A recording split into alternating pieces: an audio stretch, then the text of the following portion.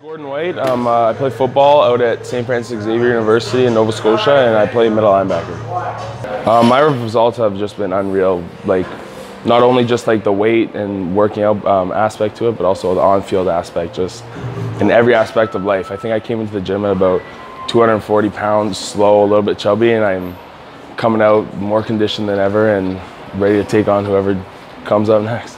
I was training before just at my school gym at St. Mike's, but not really under anyone, just kind of on my own, like trying to get into it. And I never really started like training to this extent until I got here. Clance just right away, like I think three weeks in, I was hating this place, being like, I can't do this anymore. Like, I don't know if I'm gonna survive, but he keeps pushing you and pushing you, and then you have guys around you pushing you to just go to limits you never thought you had.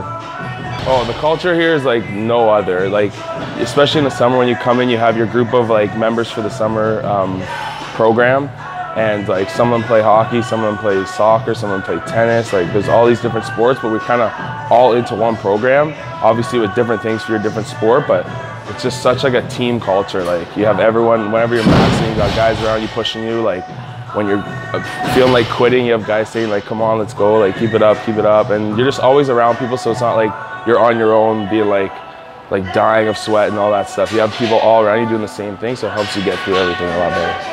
I actually heard about LPS through my dad um, in grade 11. He works at Lennard's Commercial um, Real Estate downtown Toronto with Andrea Kraus, who has been a longtime member here, and she was the one who actually reached out to my dad and said, "I think your son would really like benefit from this in the long run. Wanted to go on to the next level. It's the perfect place for you. It's the perfect place for you to work hard and find teammates for the summer.